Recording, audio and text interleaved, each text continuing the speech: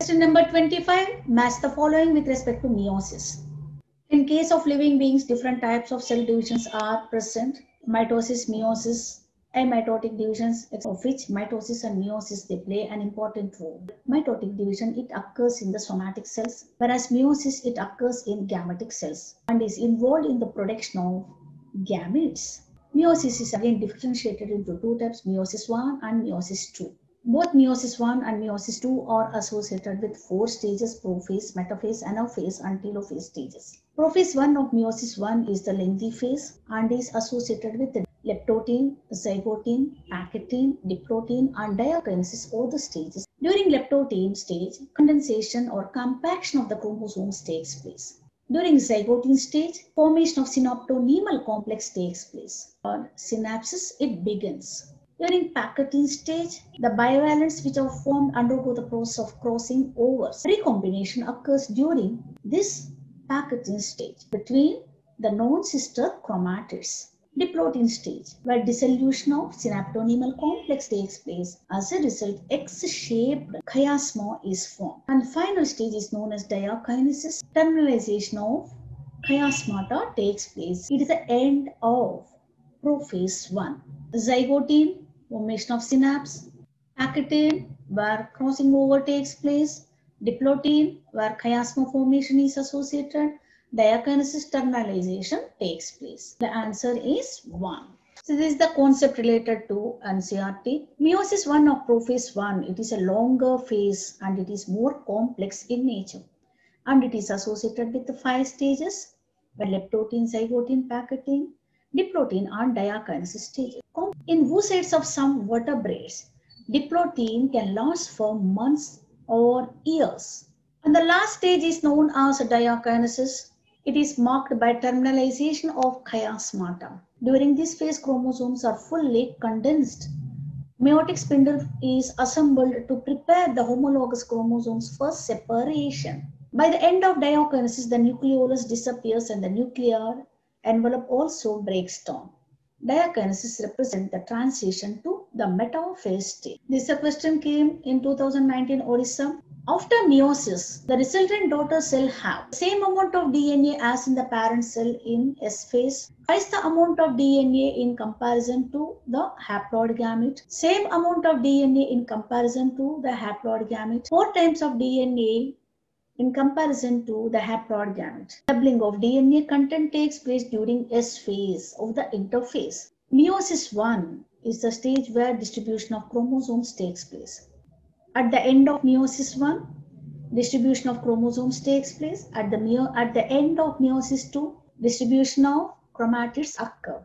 As a result, what will happen in chromatids? The content of DNA will be lesser than. After meiosis 2, the chromosomal content is reduced to of when compared with that of as the distribution of chromatids are taking place at the end of meiosis 2 obviously the content of DNA is reduced to half.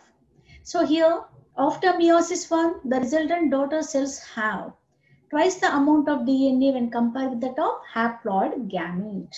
Question number 26, choose the correct pair from the following. Polymerases or the enzymes which are responsible for polymerization of nucleic acids. They are categorized into two types, DNA polymerases and RNA polymerases. DNA polymerases are involved in the replication process. RNA polymerases play an important role in the transcription process. DNA polymerases are categorized into three types, polymerase 1, DNA polymerase 2 and DNA polymerase 3. DNA polymerase 1 is involved in the process of polymerization and also it shows as exonuclease activity. It also RNA dependent DNA polymerization. DNA polymerase 1, it exhibits exonuclease activity. The exonuclease activity of DNA polymerase is more pronounced. It is involved in the removal of wrong base pairs during the process of replication. Exact function of DNA polymerase 2 is not known, but to some extent it is considered as a backup enzyme and it is also involved in the synthesis of lagging strand. DNA polymerase 3. This is the structure of DNA polymerase 3 which is associated with different types of units which is a holo enzyme related to alpha, beta, theta. During the process of replication, DNA polymerase is coupled with the different types of enzymes. Helicase, topoisomerase, single-stranded stabilizing enzyme, ligases, DNA polymerase 1. So these are various types of enzymes that are required for the replication of DNA. Or RNA polymerase, which is involved in the transcription process. Helicase is an enzyme which is responsible for unwinding of two strands of DNA or break, which is involved in breakdown of the hydrogen bonds. Transcription RNA polymerase, it plays an important role. It itself is responsible for unwinding or breakdown of hydrogen bonds. RNA polymerase is highly versatile in nature. So let us see the options related to this.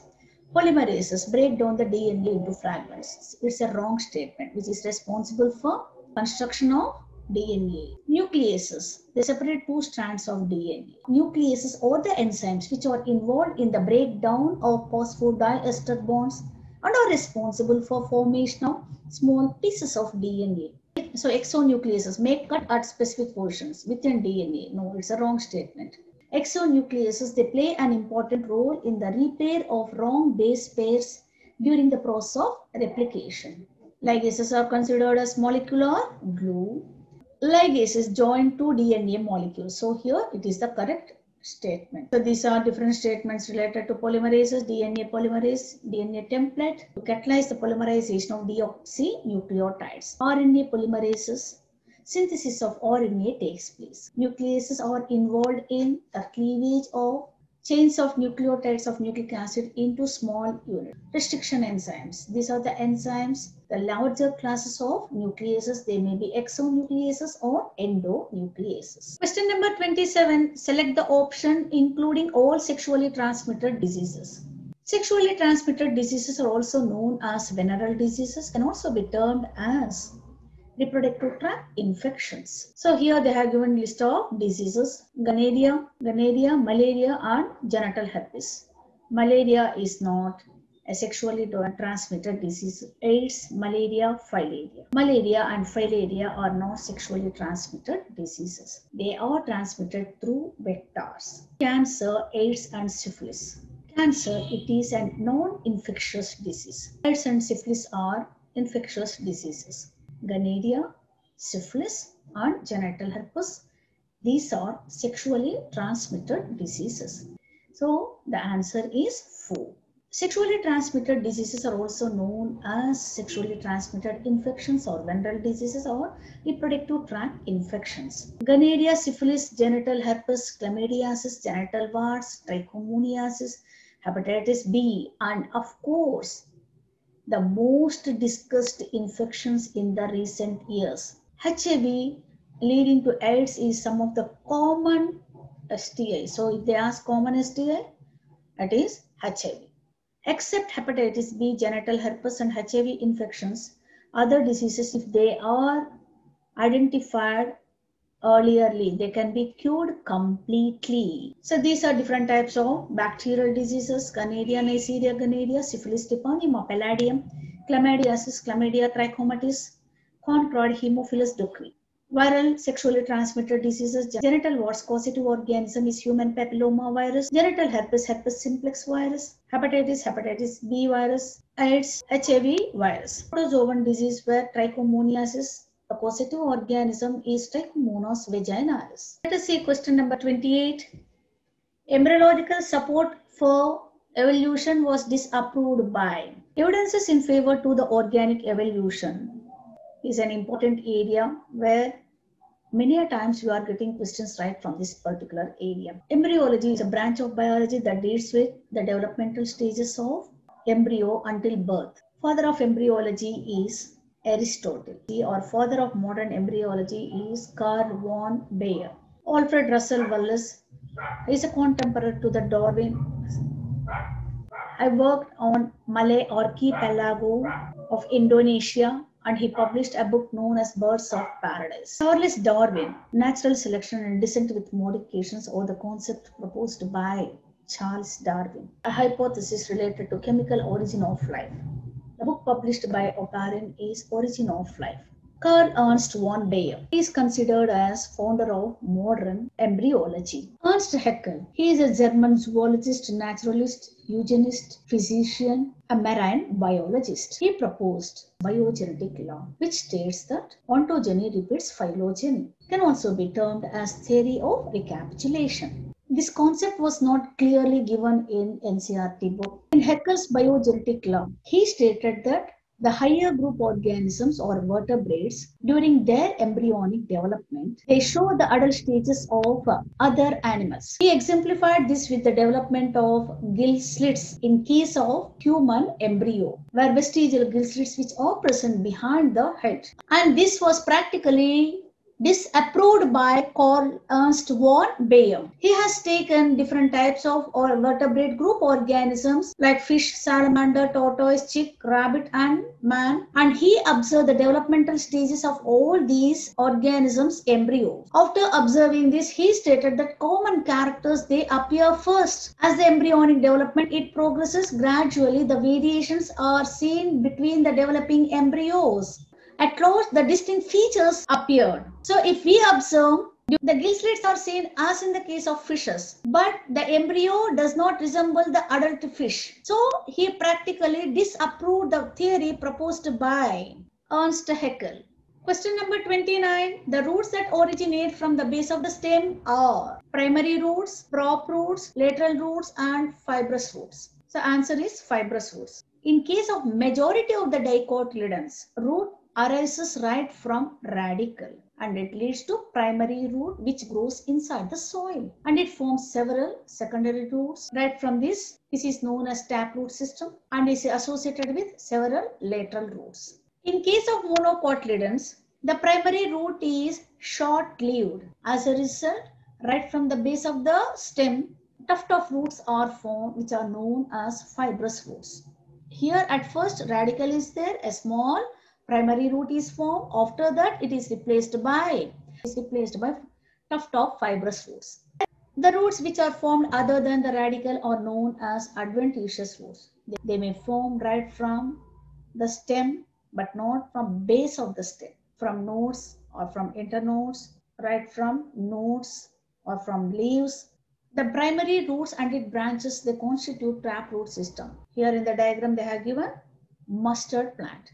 In monocotyledon plants, primary root is short-lived and it is replaced by the large number of roots. These roots originate from the base of the stem, base of the stem and constitute fibrous root system. In case of monstera and banyan plants, in case of monstera and banyan tree, roots arises from the parts of the plant other than radicle and are known as adventitious roots. All fibrous roots are adventitious, but all adventitious roots are not fibrous in nature. If we come to the functions of root, they are mainly responsible for absorption of water and minerals right from the soil.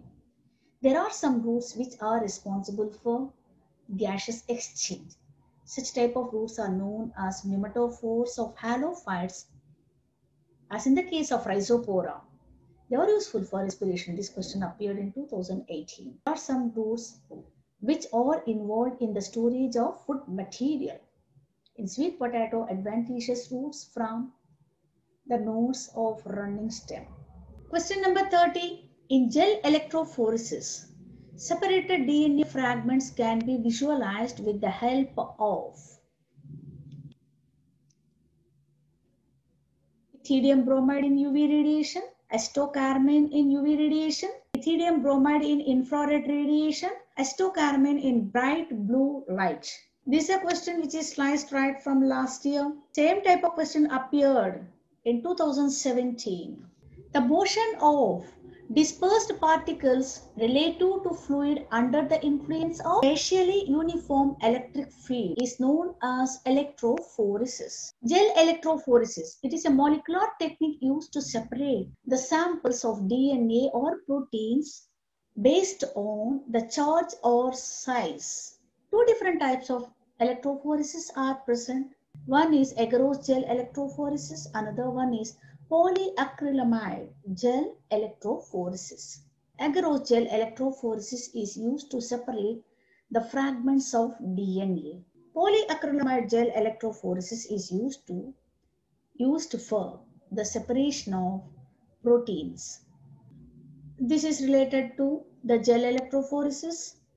In case of agarose gel electrophoresis, the DNA fragments can be separated.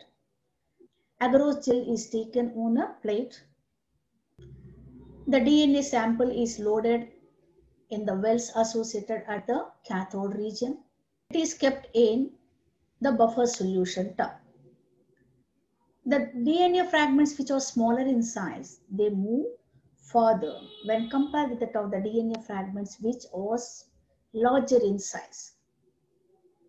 Here is the marker DNA with which we can identify the length of the DNA. Here, motion of dispersed particles related to a fluid under the influence of spatially uniform electric field is known as is known as electrophoresis. Gel electrophoresis is a molecular technique used to separate the samples of DNA or proteins based on the charge or size. Two different types of gel electrophoresis are present, agarose gel electrophoresis and polyacrylamide gel electrophoresis. Based on the size or length, we can separate the DNA strands through agarose gel electrophoresis.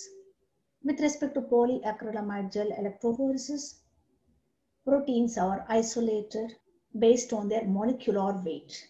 The agarose gel plate and is associated with the wells at one and the wells are loaded with DNA samples. After loading this DNA sample, power is supplied. As DNA is negatively charged, it moves towards the anode. And we can observe the distribution of the DNA fragments. But this, this, this, these DNA fragments cannot be seen distinctly. And ethidium bromide is added to this agarose gel. After exposing this to UV radiation, we can observe these bands in the form of orange-red color. Polyacrylamide gel electrophoresis is done to identify the molecular weight of protein. Sodium dodecyl sulfate is used with respect to this polyacrylamide gel electrophoresis. The areas where DNA is present can be viewed with respect to orange color bands.